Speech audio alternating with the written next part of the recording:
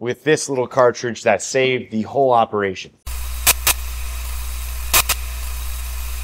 What's up everyone? Kyle here from TTO Parts. We've got an awesome video lined up for you. Now, if you get any useful information out of this video today, please hit that like button and don't forget to subscribe. Today, we are gonna be talking about TIJ printing, thermal inkjet printing, and we're gonna go over a nightmare of a case study. And we're gonna finish up with some testing on a TIJ printer. First, let's go over the thermal inkjet printer. Let's talk about how it works so you get a better understanding of what's going on inside this unit. Now this is a TIJ printer. This is a Cyclops CM160 series printer.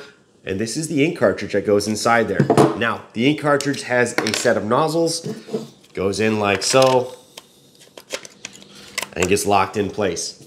That's simple. Now I know you're probably wondering, well, how does it work? Start off with the ink cartridge. Uh, the ink cartridge acts like an ink reservoir. And on one face, we have our print head with a bunch of tiny little nozzles. Each nozzle has a small heating element near the opening. So when the print head needs to print, a small electrical pulse is sent to that heating element. The timing of this pulse happens in microseconds, so it's super fast. That pulse hits that heating element right next to our nozzles. This creates a tiny bubble of ink vapor, and this bubble will ramp up the pressure, forcing it out of the nozzle.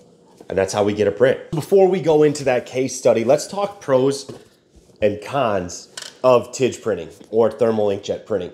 Now, Pro is cost effective. Now, these units are much more cost effective than their counterparts, and they're really less maintenance. And, and that's because every time you get a new cartridge, you're basically getting a new head. Another pro is the high resolution or crispness detail of the prints themselves. And these things are versatile. You can have tons of different colors, inks, uh, you can have a solvent for printing on plastics or painted boxes. You can have an aqueous solution for printing on just regular cardboard boxes. Now, what are some of the cons? Well, we got to go over those as well. Ink cost over time, right? The cartridges over time will add up to a high expense.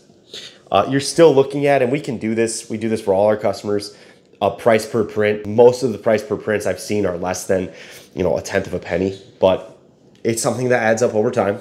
And the other thing is print speed. Now these things aren't gonna be as fast as your CIJ printer or your laser printers. Our job was to switch out a hot stamping machine with a thermal inkjet printer. Sounds simple enough, right? Now I've seen probably hundreds of applications over the past 10 years in this industry. And this application was a nightmare. Uh, it wasn't the setup that was a problem, right? Getting this thing on the line and printing I had it up and running within 20 minutes. These things are super easy to set up. It wasn't this one that I had, by the way. What drove me crazy was the material. I didn't know the material was gonna be an issue. Quite frankly, we ran the test prints and everything looked pretty good. Didn't like the 600 DPI. Noticing some smearing, right? Uh, especially right when it came off the print, smeared. Okay, so we turned down to 300 DPI, a little bit less ink, a little bit less resolution, but a little bit less ink. Was adequate. We were happy, still looked good left for the day, put some samples in my pocket. Now, by the time I got out of the truck and back to the office, I took the samples out and they were completely missing any Best By date. Oh, we got a problem.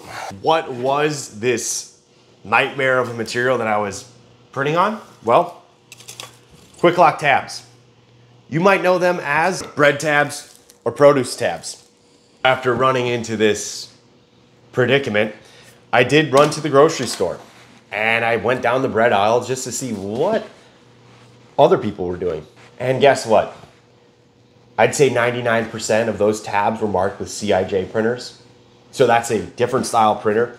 And that's a quick drying solvent, an MEK based solvent in most cases. We have a couple CIJ printers available. We could have ended this whole project right there. However, price was an issue for this customer.